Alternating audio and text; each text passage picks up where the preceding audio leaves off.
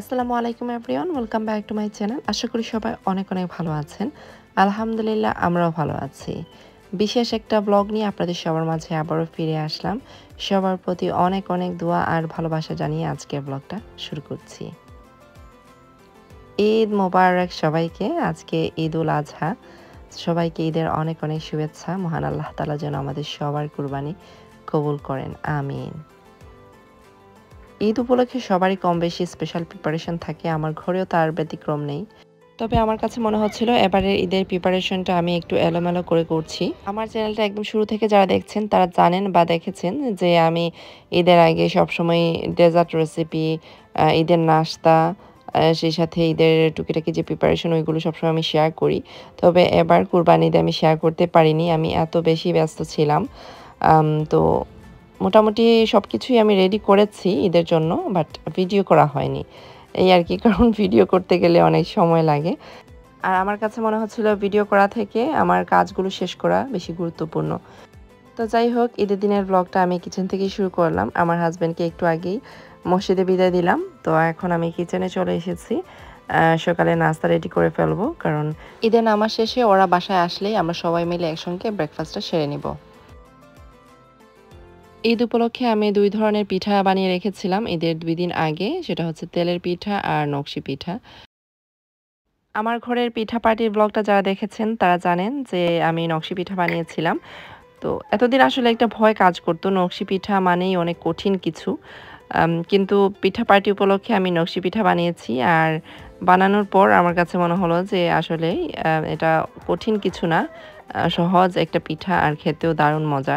তাই ভাবলাম ঈদের দিন সকালে নাস্তার জন্য এই নকশি পিঠাটা বানাবো। তো ঈদের দুই দিন আগে আমি এই পিঠাগুলো বানিয়ে রেখেছিলাম। তো এখন নকশি পিঠার জন্য গুড়ের যে শিরাটা রেডি করতে হয় সেটা রেডি করে নিচ্ছি। তো এখানে আমি আখের গুড় ইউজ করছি। তবে খেজুরি গুড় দিয়ে শিরাটা রেডি করলে পিঠাগুলো খেতে আরও বেশি মজা লাগে। তো আমার হাতের কাছে খেজুরি গুড় ছিল না, তাই আর ইউজ করতে পারলাম না।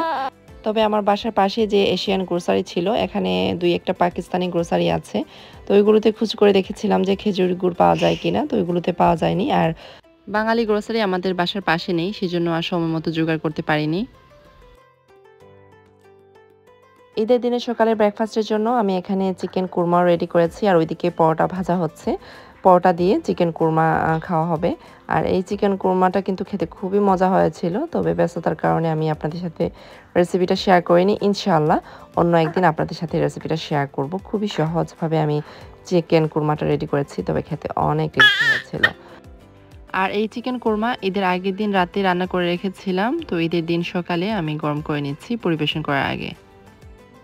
ঈদের আগের দিন আমি কিছু ডালপুরি বানিয়ে রেখেছিলাম, তো ওইগুলো বের করে নিয়েছি ডিপ ফ্রিজ থেকে।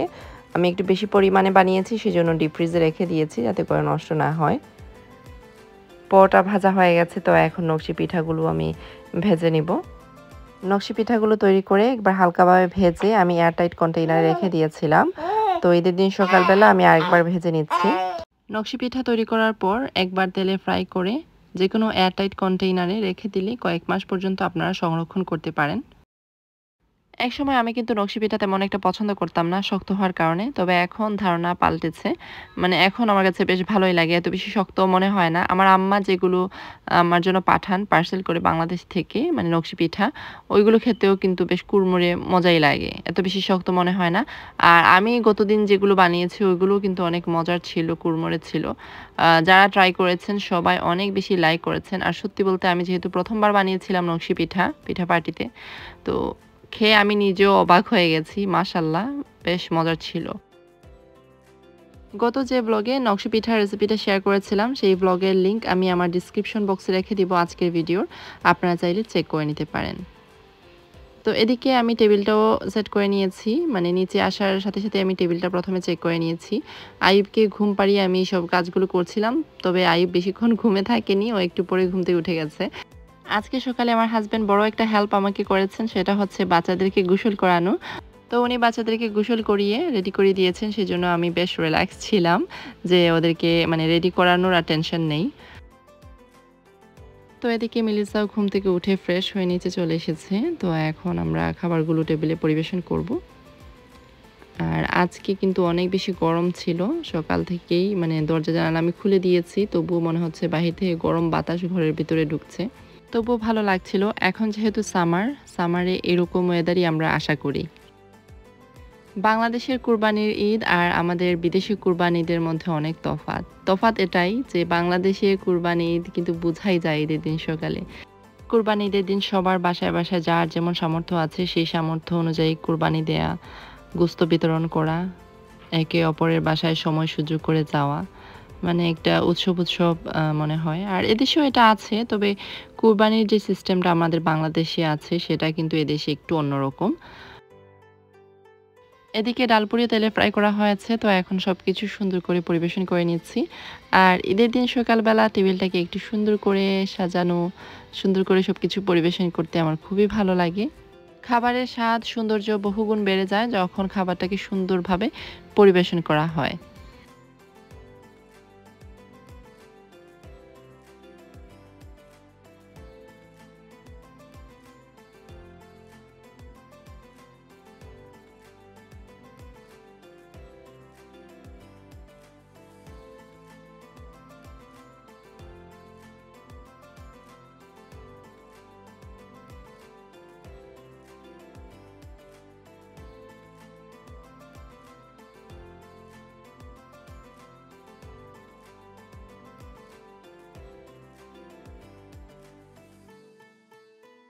চিকেন কোরমা রান্নার কারণে এবারের ঈদে আর সেমাই রান্না করিনি। যেহেতু সেমাইটা রান্না করা হয় পরোটার সাথে খাওয়ার জন্য। তো দেখলাম যে কোরমা দিয়েই পরোটা খাওয়া হবে, শুধু শুধু সেমাই তৈরি করে। ওয়েস্ট হবে, তবে ঈদের দিন সকালে সবসময় নাস্তায় আমি সেমাই রান্না করি বা সেমাই রাখি। তবে এবারে ঈদে একটু ব্যতিক্রম। মানে সেমাইটা রান্না করা হয়নি। আর আরেকটা জিনিস কিন্তু আমার ঈদের নাস্তা টেবিলে মিসিং আছে, সেটা হচ্ছে চটপটি। প্রত্যেক ঈদেই চটপটি আমি অনেক শখ করে রান্না করি। ঈদের সকালে নাস্তায় চটপটি খেতে আমি ভীষণ পছন্দ করি। তবে এবারের ঈদে আমি আর চটপটি তৈরি করিনি, যেহেতু আমার হাতে তেমন একটা সময় ছিল না। আর চটপটি কিন্তু আমি যেমন তেমনভাবে তৈরি করে খেতে পছন্দ করি না। চটপটির জন্য স্পেশাল একটা মশলা রেডি করি আর সেটা দিয়ে চটপটি তৈরি করি। নিজের হাতের তৈরি যে কোনো খাবারই তৃপ্তি সহকারে খাওয়া যায়। তো যাই হোক, এর মধ্যে ঈদের ব্রেকফাস্ট টেবিলে নিয়ে আসা হয়েছে। তো এখন আমি সবাইকে রাখছিলাম টেবিলে আসার জন্য। বাহিরে প্রচণ্ড গরম হওয়া সত্ত্বেও ওয়াফিক আর ওয়াহিবকে বাহির থেকে আনাই যাচ্ছিল না। আমার যে ফ্রেন্ড কুয়েতে থাকে, ওরা ইংল্যান্ডে চলে এসেছে। ওদের বাচ্চাদের স্কুল হলিডে সেজন্য দুই মাসের জন্য ইংল্যান্ডে এসেছে। তো ওদের বাচ্চাদেরকে পেয়ে আমার ওয়াফিক আর ওয়াহিবের তো ঈদের খুশি দ্বিগুণ বেড়ে গেছে মাসাল্লাহ তো ওরা ওদের সাথে খেলা করতে ব্যস্ত। তো অনেক বুঝিয়ে শুনিয়ে এখন নিয়ে আসলাম ঘরে, যে খাওয়া দাওয়া করে আবার বাইরে খেলা করবে। আর আজকের ঈদ স্পেশাল চিকেন কুরমাটা কিন্তু সবাই অনেক পছন্দ করেছেন। সেজন্য আরও ভালো লাগছিল যে ভয়ে ভয়ে রান্না করছিলাম যে কেউ খাবে কি না কারণ চিকেন মিট সকালে নাস্তায় আমার পরিবারের কেউ তেমন একটু পছন্দ করে না। তো খুব ভালো লাগছিল যখন দেখলাম যে না, কোনো কমপ্লেন আসছে না। তো এখন পরিবারের সবাইকে নিয়ে ঈদের দিনের সকালে নাস্তাটা সেরে নিচ্ছি, আলহামদুলিল্লাহ। আমি খেতে বসলে যেটা হয়, আমার আয়ুব সোনা পাখি দেখা যায় কান্নাকাটি শুরু করে। আমি যখনই খেতে বসি, ওর কান্না শুরু হয়ে যাবে। তো আজকে ওর ব্যতিক্রম না, আমি খাচ্ছিলাম আর আমার আয়ুব পাখি তো কান্না করেই যাচ্ছিল। কুরবানিদের দিনটা ছিল আমার জন্য খুবই ব্যস্ততম। আমি সবসময় চেষ্টা করি, প্রত্যেক ঈদেই যাতে আমি একটু রিল্যাক্স থাকি, ঈদের দিন বিশেষ করে। তবে এবারের ঈদে আমার কাছে মনে হয়েছে যে, সারাদিনই অনেক ব্যস্ত ছিলাম রিল্যাক্স করার টাইমই পাইনি। তো সকালে নাস্তা শেষ করে সব কিছু গোছানোর পর আমি আয়ুবকে একটু শান্ত করে এখন আবার কিচেনে চলে এসেছি। দুপুরে খাবারের আয়োজন করার জন্য, কারণ আমার বাসায় গেস্ট আসবে। আমার যে কুয়েতের ফ্রেন্ড ওর ফ্যামিলি নিয়ে আসবে আজকে। ওদের আসা উপলক্ষে আমার ঘরে স্পেশাল রান্নাবান্নার আয়োজন। কুরবানিতে যদিও আমি এই ধরনের রান্না তেমন একটা করি না। বেশিরভাগ সময় মিট ভুনা, চালের রুটি ওইগুলো তৈরি করি। তবে এবারে ঈদে যেহেতু আমার যা আর দেবরা আসতে পারেনি, ওরা চলে গেছে বার্মিংহামে, আমার জায়ের বাবার বাড়িতে। তো আমাদেরও যাওয়ার কথা ছিল। আমার যা বারবার বলছিল যাওয়ার জন্য।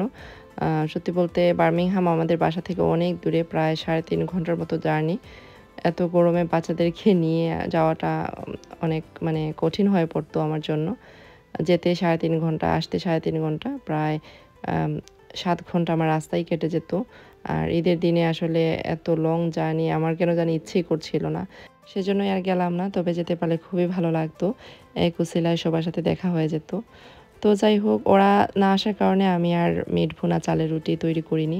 আমার কাছে মনে হয় চালের রুটি, মিট, ভুনা সবাইকে একসঙ্গে নিয়ে খেতেই মজা। একা খাওয়ার মধ্যে মজা নেই। তো যাই হোক, আমার ফ্রেন্ড আর ফ্রেন্ডের ফ্যামিলি আসা উপলক্ষে আমি এখানে কিছু লেবানিজ খাবারের আয়োজন করছি।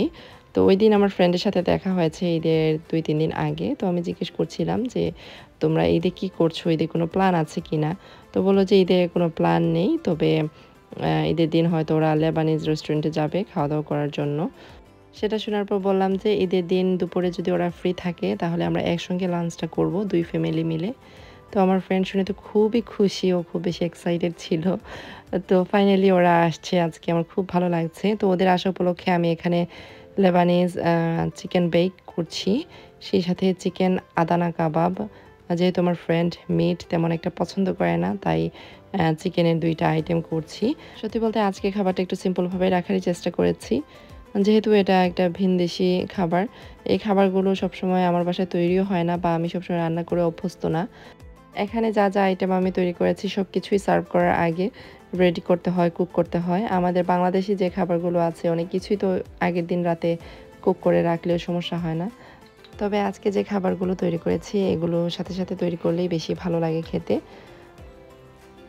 চিকেন আদানা কাবাবের জন্য কিমাটা আমি গতকালকে রেডি করে রেখেছিলাম। এখন জাস্ট মশলা অ্যাড করে তারপর কাবাবগুলো তৈরি করে নিয়েছি। লেবানিজ চিকেন বেকের জন্য, চিকেনটাকে আমি গতকালকেই মশলা দিয়ে ম্যারিনেট করে রেখেছিলাম ফ্রিজে তো একটু আগে ফ্রিজ থেকে বের করে ওভেনে দিয়ে দিয়েছি চিকেনটাকে কুক হওয়ার জন্য। আজকের ঈদ স্পেশাল রান্নায় আরবদের বিখ্যাত কাবসাও রান্না করেছি। তো ইনশাল্লাহ একটু পরে আপনাদেরকে দেখাচ্ছি। কাবসার জন্য যে মিটটা রান্না করতে হয়, সেটা আমি আগের দিন রান্না করে রেখে দিয়েছিলাম। কারণ ঈদের দিন যদি আমি মিটটাও রেডি করি বা কাবসাটা পুরোপুরি রান্না করি, তাহলে দেখা যাবে আমার অনেক সময় লাগবে। সেই জন্য আমি মিটটা আগে রান্না করে রেখে দিয়েছি আগের দিন। আর আজকে জাস্ট চালের সাথে মিটটাকে আবার কুক করব আর কি তো এর মধ্যে আমি টেবিলটাও সাজিয়ে নিয়েছি, যেহেতু আমার মোটামুটি খাবার দাবার সব কিছু রেডি করা হয়ে গেছে। তো এখন ভাবলাম যে টেবিলটা সেট করে নিব। আর যেহেতু একটু রান্নাবান্না করেছি, আমার কাছে মনে হচ্ছিল যে আমার ড্রেসটা চেঞ্জ করা খুবই দরকার। কারণ একটু রান্নাবান্না করলেই কারির একটা স্মেল কাপড়ের মধ্যে উঠে যায়, সেটা একদমই ভালো লাগবে না। আর গরমের দিন থাকার কারণে আরেকটা ভালো দিক হচ্ছে, আমি যখন রান্না করছিলাম, আমার কিচেনের ডোরটা একদম ওপেন করে দিয়েছি।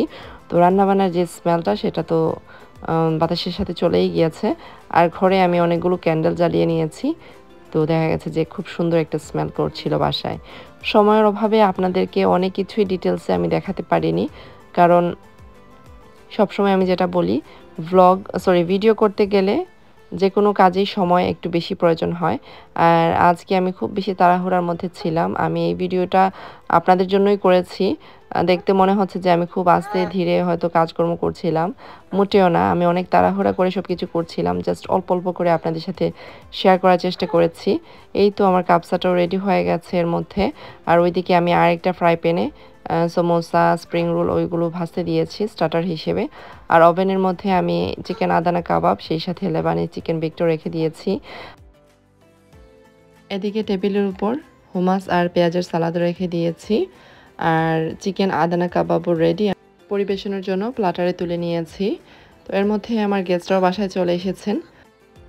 ওদের সাথে একটু সময় গল্প করে এখন আমি কিচেনে চলে এসেছি। আমার হাজব্যান্ড বসে গল্প করছেন ওদের সাথে লিভিং রুমে বাচ্চারা খেলা করছে। তো এখন ওদের জন্য একটা ওয়েলকাম ড্রিঙ্কস রেডি করছি। এটা মিলসা রেডি করেছে। মোহিত, যেহেতু বাহিরে প্রচণ্ড গরম, আর এই গরমে এরকম ঠান্ডা ঠান্ডা ড্রিঙ্কস পান করতে বেশ ভালোই লাগে। আর মিলিসার হাতের মোহিত খুবই টেস্টি হয়। সেজন্য ওকে বলেছিলাম যে, তুমি মজা করে মোহিত রেডি করো।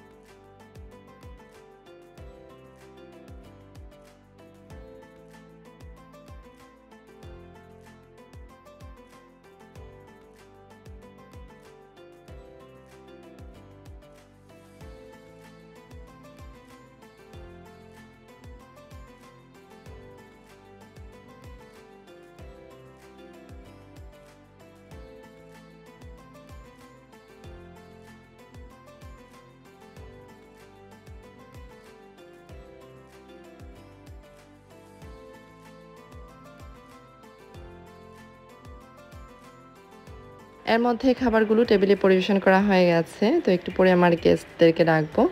গেস্টরা টেবিলে আসার আগে একটু ছবি টবি তো তুলতেই হয়। ব্লগারদের জন্য এটা বাধ্যতামূলক।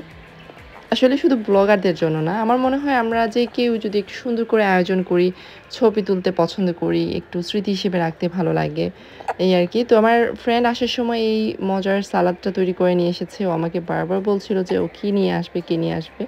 তো আমি বললাম যে কিছুই আনতে হবে না। তুমি জাস্ট আসো, এতেই আমি খুশি। কিন্তু ও তো নাছুর বান্দা, কোনোভাবে মানবে না। তো আসার সময় এই মজাদার সালাদটা তৈরি করে নিয়ে এসেছে। আমার আজকে দুপুরের আয়োজন, আমার গেস্টদের মন ছুঁয়ে গেছে। আলহামদুলিল্লাহ, ওরা এত খুশি ছিল আর খাবারগুলো ওদের কাছে এত ভালো লেগেছে। সেটা দেখে আমার কাছে মনে হচ্ছিল যে, না, আমার কষ্ট করাটাও সার্থক। মানে আমি যাদের জন্য এই কষ্টটা করেছি, ওদের ভালো লেগেছে, ওরা এনজয় করেছে, এটাই আমার জন্য আসলে সবথেকে বড় পাওয়া। আর কেউ কেউ হয়তো প্রশ্ন করতে পারেন যে, মেহমান আসলে মেহমানদেরকে দেখালাম না ব্লগে আসলে মেহমানদের প্রাইভেসি আমার কাছে ইম্পর্টেন্ট বেশি। আমার কাছে মনে হয় না যে ব্লগে ফেস দেখানোটা খুবই জরুরি সবার। কারণ সবার প্রাইভেসি সবার কমফোর্ট জোন হচ্ছে আমার জন্য মেইন আমার বাসায় ওনারা এসেছেন, ওনারা এনজয় করছেন বসে রিল্যাক্স করছেন, গল্প করছেন, এটাই হচ্ছে আমার জন্য ইম্পর্টেন্ট তো দুপুরে খাওয়া দাওয়া শেষে আমরা অনেকক্ষণ বসে গল্প করলাম। তো এখন ডেজার্ট খাওয়ার পালা। তো আমি ঈদ উপলক্ষে রসমলাই তৈরি করেছিলাম। গতকালকে এই রসমলাইটা আমি রেডি করেছি। এই রসমলাইটাও খেতে কিন্তু অনেক মজা হয়েছিল। গরমের দিনে ঠান্ডা ঠান্ডা রসমলাই খাওয়ার মজাই আলাদা।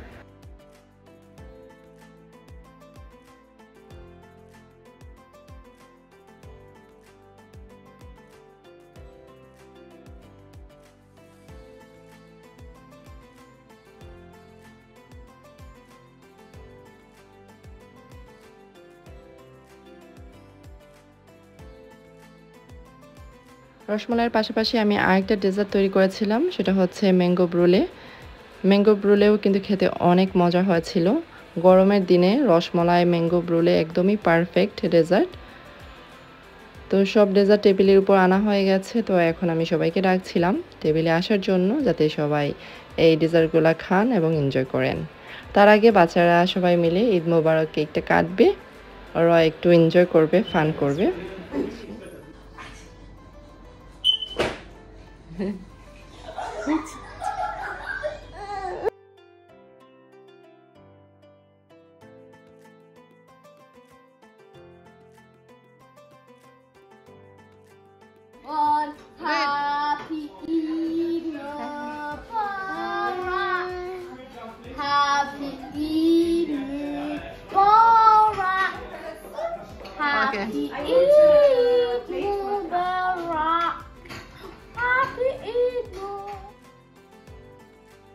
আমার বাসায় গেস্টরা বিকেল প্রায় সাড়ে পাঁচটার দিকে চলে গেছেন। ঈদের দিনের জন্য এখনও পুরোপুরি রেডি হয়নি। গেস্টরা যখন এসেছেন, তাড়াহুড়া করে আমি ড্রেসটা চেঞ্জ করে নিচে চলে গেছি। তো এখন আমি ঈদের জন্য রেডি হব। তো ভাবলাম যে এই শাড়িটা ঈদের দিন আমি পরবো। শাড়িটা খুবই সুন্দর। আমার হাজব্যান্ড বাংলাদেশের আড়ং থেকে এই শাড়িটা কিনে এনেছিলেন আমার জন্য। তো একদিনই পরা হয়েছিল। তাই ভাবলাম আজকে পরে নেই, বিশেষ অকেশন ছাড়া। শাড়ি তো তেমন একটা পরাও হয় না। তো শাড়ির সাথে আমি এই হিজাবটাও পরবো। হিজাবের কালারটা শাড়ির সাথে খুব সুন্দর মানিয়েছে। সেই সাথে দুইটা চুড়ি, বেশি গহনাগাটি রাখিনি। বাইরে যেহেতু গরম, তাই একদম সিম্পল সব কিছু রেখেছি আমি। আর আমার আয়ুব সোনা পাখিকে এই শার্টটা পরাবো। ওয়াফিক ওয়াহি বোয়ারি তিনজনকেই তো আমি রেডি করে দিয়েছিলাম সকালেই। ওরা ওদের ফ্রেন্ডের সাথে খেলাধুলা এতটাই ব্যস্ত যে ওদেরকে দিনের বেলা আমি একটু সময়ও কাছে পাইনি। তো ওরা রেডি আছে, তো এখন আমার আইবকে রেডি করাবো। যেহেতু আমরা একটু পরই বের হব।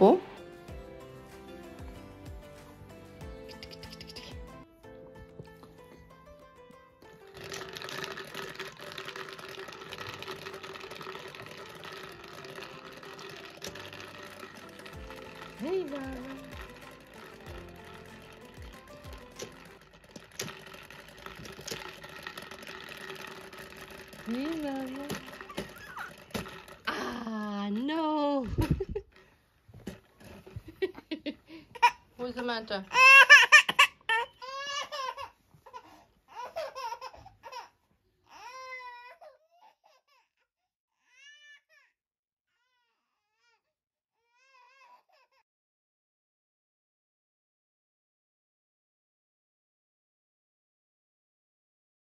কাপড় চোপড় চেঞ্জ করার সময় আমার আই বাবা এত বেশি হ্যাপি থাকে না সব সময় একটু কান্নাকাটি করে তবে ঈদের দিন বলে কথা রেডি তো হতেই হবে, যতই কান্নাকাটি করো না কেন মাশাল্লাহ আমার আইব বাবা আস্তে আস্তে বসা শিখছে। এখনও পুরোপুরি বসা শিখেনি। চার পাঁচ সেকেন্ড বসার পরই দেখা যায় যে ও পড়ে যায়। ইনশাল্লাহ আর কয়েকদিনের মধ্যেই আইউ পুরোপুরি বসা শিখে যাবে। তো এদিকে আমি রেডি হয়ে গেছি, ঝটপট তাড়াহুড়া করে যেভাবে পেরেছি রেডি হয়েছি। আর রেডি হওয়ার পর মনে হচ্ছিল যে ঈদ, কারণ দুপুর পর্যন্ত কাজকর্মের মধ্যেই পার করেছি। আসলে গরমের জন্য কোনো কিছুই ভালো লাগছিল না। এত গরম যে বাচ্চাদেরকে কাপড় চোপড় পরিয়ে রাখা যাচ্ছিল না। আর আমাদের ঘরে একটু বেশি গরম। আমি সবসময় আমার বাচ্চাদের জন্য পাঞ্জাবি কিনি ঈদে, তবে এবারে ঈদে পাঞ্জাবি কিনিনি। ওদের জন্য পাতলা যে টি শার্ট আছে, ওইগুলোই নিয়েছি। ভাবলাম যে এগুলো পরে আরাম পাবে। ওইদিকে মিলিসিকেও বললাম রেডি হওয়ার জন্য, তো উপরে রেডি হচ্ছে। গরমের কারণে ও চাচ্ছিল না সেলোর কামিজ পরতে। তো আমি বললাম যে সেলোর কামিজ পরে ফেলো। আসলে ঈদের দিন যদি সেলোর কামিজ শাড়ি এগুলো না পরি, আমার কাছে মনে হয় না যে ঈদ ঈদ। যদি শাড়ি না পরতাম, হয়তো আমি সেলোর কামিজ পরতাম। তো ওকে বললাম যে, কটনের সেলোর কামিজ পরে ফেলো, এতে এত বেশি গরম লাগবে না। তো এদিকে আমার আইব বাবাও রেডি হয়ে গেছে, আর ওয়ারি তো অনেক আগেই রেডি মানে সকাল থেকে ও রেডি হয়ে আছে, খেলাধুলায় সারাদিন ব্যস্ত ছিল। কই দিতে The body. ঈদ মুবারক তুমি ঈদ মুবারক দিতে নিমেন না. আচ্ছা। এতক্ষণ পর ওয়াফিক আর ওয়াহিবের দেখাও মিললো। ওরা তো আজকে এত বেশি ব্যস্ত ছিল খেলাধুলায়। খুব এনজয় করছিল মাসাল্লাহ আর ওদের কাজিনদেরকেও অনেক বেশি মিস করছিল। কারণ আমরা সবসময় একসাথে ঈদ করি। আর ওরা সবসময় আমাদের বাসায় আসে বা আমরা ওদের বাসায় যাই একসঙ্গে খাওয়া দাওয়া করি বাচ্চারা অনেক এনজয় করে। বাট এবারে ঈদটা একটু অন্যরকম গিয়েছে। তবু আলহামদুলিল্লাহ আমরা অনেক এনজয় করেছি অনেক সুন্দর একটা দিন কাটিয়েছি। তো এখন আমরা সব পরিবারে বের হয়ে পড়েছি, আমরা আমাদের আত্মীয়র বাসায় যাব। আর এভাবে করেই আমাদের ঈদের দিনটা কাটিয়েছি, আলহামদুলিল্লাহ। আশা করি আপনাদের সবার ঈদও অনেক ভালো কেটেছে। যদিও আমার ঈদের ব্লগটা আপলোড করতে একটু দেরি হয়ে গেছে, সেজন্য সবার কাছে ক্ষমা চেয়ে নিচ্ছি। বিকেলে যখন বের হয়েছি, আসলে অনেক বেশি ভালো লাগছিল, কারণ দিনের বেলা যে গরম ছিল, সেই গরমটা মনে হচ্ছিল যে একটু কমে এসেছে, বিকেলে ঠান্ডা ঠান্ডা বাতাস। খুবই ভালো লাগছিল। তো আমরা আমাদের গন্তব্যস্থানে পৌঁছে গেছি। তো আজকের ব্লগটা আমি এখানেই শেষ করব। আশা করি আপনাদের কাছে আজকে ব্লগটি ভালো লাগবে। সবাই অনেক অনেক ভালো থাকবেন, সুস্থ থাকবেন, আমাদের জন্য দোয়া করবেন। আজকের জন্য এই পর্যন্তই। আল্লাহ হাফেজ। আসসালামু আলাইকুম।